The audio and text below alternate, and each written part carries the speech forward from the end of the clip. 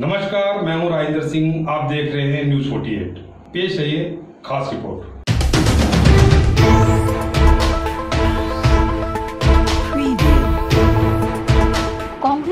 विधायक करण सिंह दलाल ने कहा कि हरियाणा प्रदेश में घरेलू एवं कृषि कार्य के लिए अधिकतम 9000 मेगावाट बिजली की आवश्यकता है। भाजपा सरकार में 13000 मेगावाट बिजली की खरीद की जा रही है। सरकार में ज़्यादा दामों पर बिजली की खरीद की जा रही है। बिजली की खरीद करने के बाद वापसी बिजली को सस्ते दाम पर बेचने का काम सरकार कर रही है। सरकार बिजली खरीद व बेचने में कमीशन खा रही है। यही वजह है कि आठ रुपए यूनिट बिजली का बिल आ रहा है। बिजली के बिल भरने में लोगों की कमर टूट जाती है, लेकिन सरकार को इससे कोई लेना देना नहीं है। दलाल ने कहा कि नोटबंदी के समय में भाजपा के नेताओं ने अपनी जेब भरने का काम किया और लोगों को बेरोजगार कर दिया। नोटबंदी के चलते देश व प्रदेश में बेरोजगारी बढ़ रही है। भाजपा सरकार ने विदेश में जमा काले धन को वापस देश में लाने का वायदा किया था। सरकार अपने वायदों को भूल चुकी है। आज तक देश में वापस काला धन नहीं आया है। उन्होंने कहा कि प्रधानमंत्री नरेंद्र मोदी सार्वजनिक मंच से कहते हैं कि न खाऊँगा और न ही किसी को खाने दूँगा। लेकिन हरियाणा प्रदेश में भ्रष्टाचार चरम सीमा पर है। पलवल ज़िले में पुलिस थाने में खुलेआम भ्रष्टाचार हो रहा है। सरकार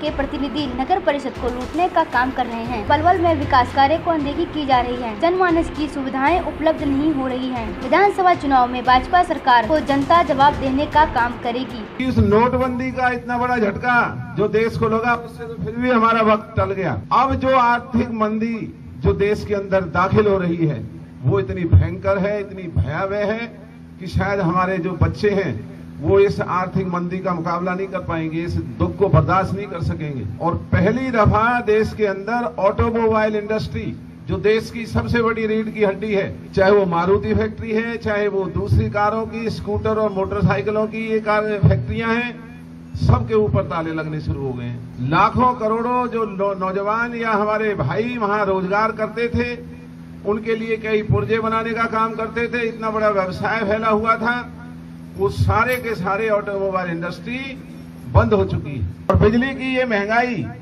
ये किस लिए जो बढ़ी हुई है? 9000 मेगावाट बिजली की ज़रूरत है हरियाणा को। 9000 भी तब है जब धान की पिराई हो और बहुत ज़्यादा बिजली की ज़रूरत हो, वरना तो पाँच सात हज़ार मेगावाट से हरियाणा की तमाम बिजली की आपूर्ति की जा सकती है। आज ये भारतीय जनता पार्टी की सरकार तेरह हज़ार मेगावाट बिजली खरीदने का काम कर रही है। ज़्यादा दामों पर बिजली को खरीदते हैं और वो बिजली खरीद करके फिर वापस उसे बेचते हैं। यही वजह है कि आठ रुपए प्रति यूनिट हमारा बिजली का बिल आ रहा है। और लोगों की कमर टूट जाती है, लेकिन भारतीय जनता पार्टी के लोग बिजली खरीदने में कमीशन खाने के लिए आम आदमी को इन्होंने दुखी कर रखा है, और वो बिजली आती भी नहीं।